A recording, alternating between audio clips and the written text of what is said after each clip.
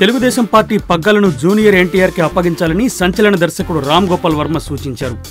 ఈ మేరకు ఆయన తన ట్విట్టర్లో ఓ పోల్ పెట్టారు. నలభై ఒక్క వేల తొమ్మిది వందల పదకొండు మంది ఓటు వేయగా డెబ్బై తొమ్మిది శాతం తెలుగుదేశం పార్టీ పగ్గాలను జూనియర్ ఎన్టీఆర్కి అప్పగించడమే సమంజసమని అన్నారు. మరో ఇరవై ఒక్క శాతం మంది మాత్రమే దీనిని వ్యతిరేకించారు.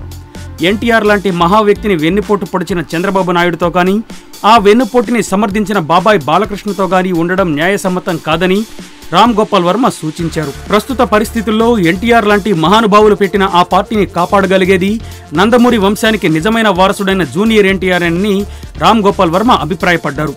తక్షణమే జూనియర్ ఎన్టీఆర్ తెలుగుదేశం పార్టీ పగ్గాలు చేపడితే ఇటీవల జరిగిన ఎన్నికల్లో తెలుగుదేశం పార్టీకి జరిగిన ఘోర పరాభవాన్ని ఓటమిని ప్రజలు మర్చిపోతారని మళ్ళీ తెలుగుదేశం పార్టీ నాయకత్వంపై నమ్మకం కుదురుతుందని ఆ పార్టీ నిజమైన నందమూరి వారసుల చేతుల్లో పడిందని నమ్ముతారని అన్నారు.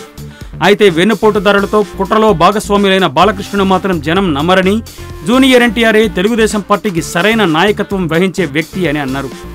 వరుస ట్వీట్లతో ఇలా సంచలన వ్యాఖ్యలు చేసిన రామ్ గోపాల్ వర్మ చివరగా ఎండలు ముదిరిపోయి ఉన్నాయి కమ్మవారు బయటకు రావడం లేదు.